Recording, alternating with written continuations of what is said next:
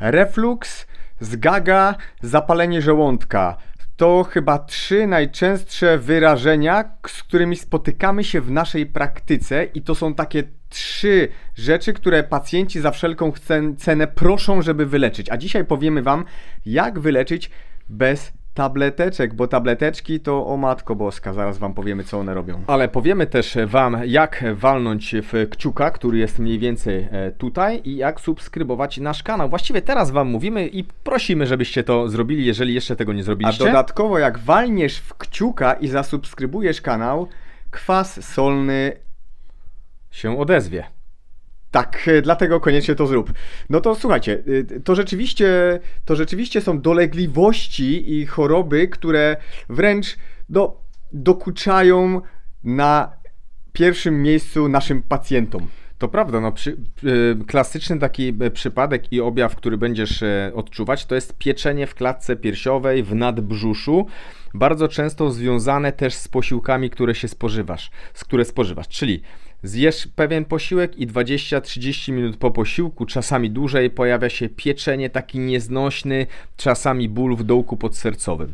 Czasami y, pacjenci wstają rano i już skarżą się na takie kwaśne odbijanie, na puste odbijanie.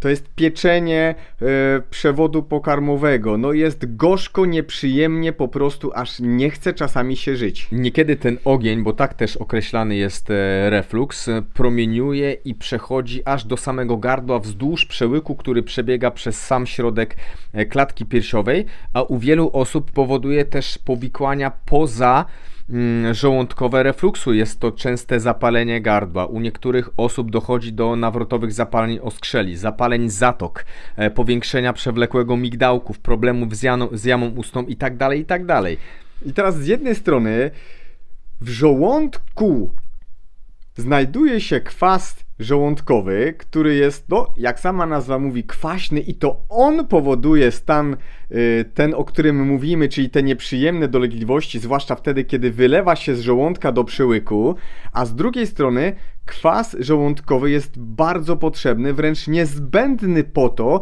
żeby chronić Twój organizm, chociażby przez bakteriami, które wnikają z zewnątrz. I jest też niesamowicie ważny, jeżeli chodzi o wchłanianie i przyjmowanie ważnych makro i mikroskładników, ponieważ pokarm jest w żołądku dzięki temu kwasowi rozkładany na cząsteczki mniejsze i dalej może się wchłonąć do Twojego organizmu. Kwas solny jest takim idealnym przykładem bardzo podobnym do pęcherzyka e, żółciowego. No, pęcherzyk żółciowy jest po to, żeby ułatwiać Tobie trawienie i mm, emulgację tłuszczu.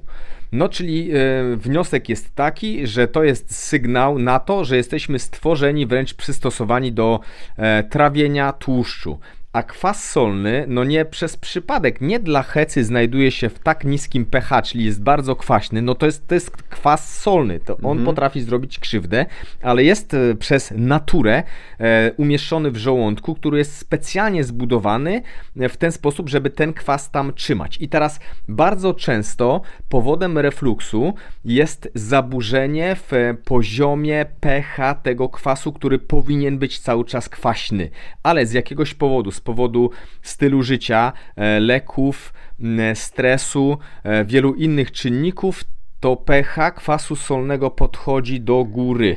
No i teraz y, z dużym zaniepokojeniem obserwujemy styl leczenia i sposób leczenia zapalenia żołądka, refluksu, zgagi w tak zwanym standardowym, klasycznym systemie ochrony zdrowia bo jak poskarżycie się na takie dolegliwości, prawdopodobnie dostaniecie tak zwany inhibitor pompy protonowej. Polprazol, kontrolog, helicid, gasek, dexilant i okej, okay, to leczenie może być skuteczne przez tydzień, dwa, a nawet trzy, ale zbyt dużo i często pacjentów widzimy te leki, które biorą rok, dwa, trzy, a niektórzy całe życie.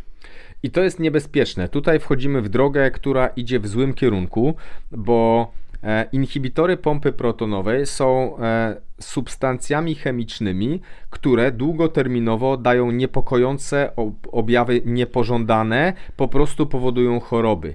mm, e, jedną z takich najlepiej zbadanych i e, występujących po wielu latach stosowania jest y, zdecydowanie zwiększone ryzyko choroby Alzheimera. Jest też zwiększone ryzyko cukrzycy drugiego typu.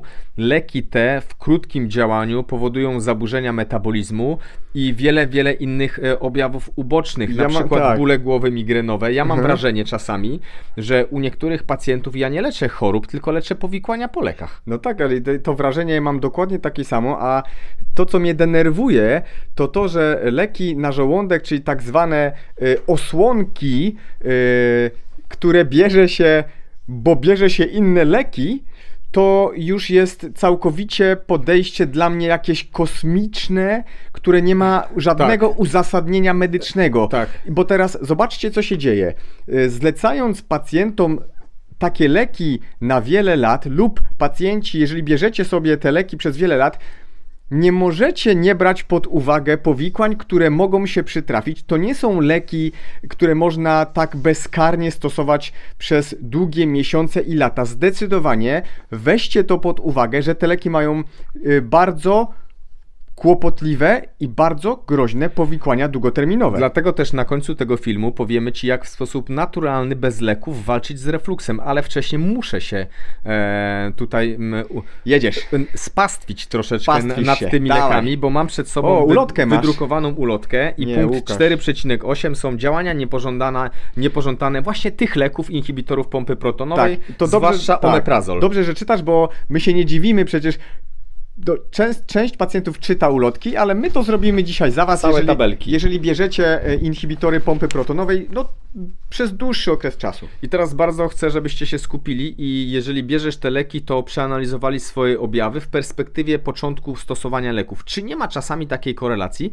że od momentu, kiedy zaczęliście stosować e, te leki, wystąpiły następujące objawy? Uwaga, cytuję, do najczęściej spotykanych działań niepożądanych omeprazolu, czyli od 1 do 10% pacjentów.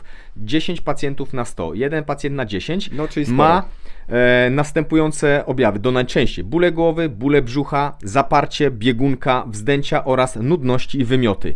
Przeanalizujcie to, zastanówcie się, czy czasami nie jest to przyczyna tych leków.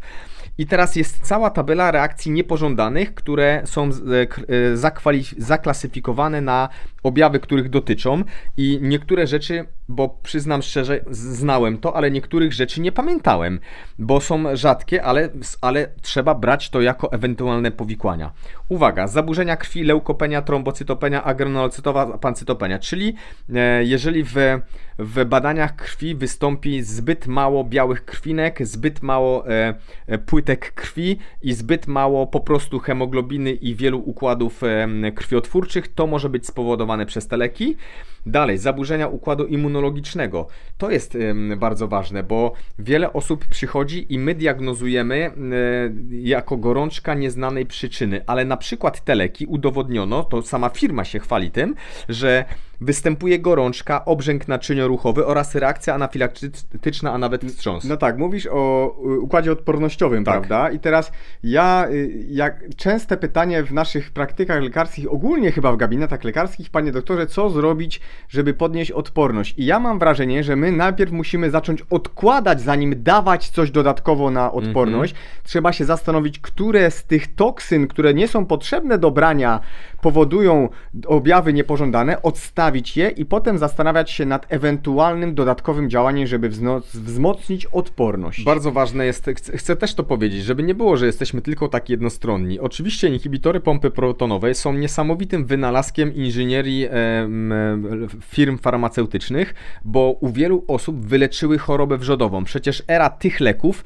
to jest tak naprawdę zakończenie ery operacyjnego leczenia wrzodów żołądka i dwunastnicy. Szacunek za to, ale to zaczyna przechodzić ludzkie pojęcia, bo zaczynamy stosować to jako po prostu cukiereczki na wszelkie rzeczy bez konsekwencji. A na, te, na tak. koniec tego filmu dlatego powiemy, mm, że konsekwencje są takie, że nie leczymy w niewłaściwy sposób, my tylko zaleczamy tym lekiem. Idźmy, idźmy tak, dalej. Tak, jeszcze bo... bardzo, bo bardzo mhm. ważne objawy niepożądane e, tych leków to jest niedobór e, sodu i Mhm. niedobór magnezu. No przecież dwa najważniejsze elektrolity, dwa najważniejsze składniki, bez których praktycznie nie masz prawa czuć się dobrze. ale też bezsenność, ale też splątanie, ale też jakieś omamy, e, zaburzenia smaku przecież w tych czasach, e, teraz tak często występujące, nie, niewyraźne widzenie, zawroty głowy, skurcz No dobra, oskrzeli już, i tak już, dalej, już, i tak dalej. ale chciałbym zwrócić uwagę na jedno, bo w zakresie zaburzenia mię- mięśniowo-szkieletowego i tkanki łącznej napisane niezbyt często, czyli nawet do raz na 100 osób, Dla mnie to często. E, firma napisała, że jest złamanie e, kości biodrowej, kości nadgarstka lub kręgosłupa. Dobra, słuchajcie, taki apel, zamiast y, będziecie, zamiast łykać coś przez długi okres czasu, weźcie pod uwagę, że to nie są takie naprawdę obojętne y, kapsułeczki, które można brać przez wiele lat. Ale lećmy dalej, bo ten film ma za zadanie powiedzieć wam, jak bez tabletek wyleczyć y, reflux, zgagę, zapalenie żołądka. Na pewno pierwsze, numer jeden, zmienić styl życia e, na bardziej naturalny. Eliminuj ze swojego życia, ze swojej diety e, produkty przetworzone. A produkty przetworzone to są takie, na których są etykiety, które w fabrykach różnego rodzaju cudownych ośrodkach tworzenia jedzonka zostały wyprodukowane po to, żeby złapać twój mózg i powiedzieć ci, że musisz zajadać się na śmierć 7 razy na dobę. Y, Zastanawiaj się i myśl za każdym razem, kiedy idziesz na zakupy, po to, żeby do Twojego koszyka lądowało jak najmniej prozapalnych produktów. A prozapalne produkty to na przykład produkty pszenne, a prozapalne produkty to na przykład produkty, które mają cukier, i prozapalne produkty to produkty, które mają na przykład oleje roślinne. No fe. Bardzo ważne też, e, żeby jako modyfikacja stylu życia e, wyeliminować, zrobić sobie challenge. Nie, nie jesteśmy jakimiś wielkimi przeciwnikami przecież e, napicia się winka do obiadu, czy nawet okazjonalnie e, alkoholu, ale jeżeli masz reflux i to niszczy tobie życie, to jak najbardziej weź pod uwagę eliminację całkowitą alkoholu i zobacz, jak twój organizm na to zareaguje. No jak moglibyśmy nie wspomnieć tego cudownego słowa keto, kiedy y, badania naukowe sugerują i mówią, że aby pozbyć się na stałe refluksu, zgagi, zapalenia żołądka, trzeba zmniejszać ilość węglowodanów, czyli styl życia keto jest stylem życia, który daje naprawdę dobre rokowania, jeżeli chodzi o reflux. Zresztą załączę kilka badań w opisie. Przyznam, że najczęstszym takim doniesieniem od pacjentów, którzy, e, których wprowadziłem w styl keto, jest e, to, że wycofuje się reflux już najczęściej po kilku dniach i to jest, uwaga, reflux, wycofanie refluksu tak naprawdę do końca życia, bo w momencie, kiedy utrzymasz ten styl życia, a to w porównaniu do innych e, stylów życia jest e, łatwe w utrzymaniu, zresztą po co coś zmieniać, skoro coś działa e, i no, reflux wycofuje się naprawdę w potężnej ilości. No dobra, słuchajcie, yy, mamy nadzieję, że przydały się te informacje Wam i mamy nadzieję, że w tym momencie właśnie grzebiecie po szafkach yy, yy, z Waszymi inhibitorami pompy protonowej. Zmieńcie styl życia, a potem spokojnie, jeżeli to minie, możecie odstawiać te leki. Krzywda Wam się na pewno nie stanie. Powodzenia bez refluksu.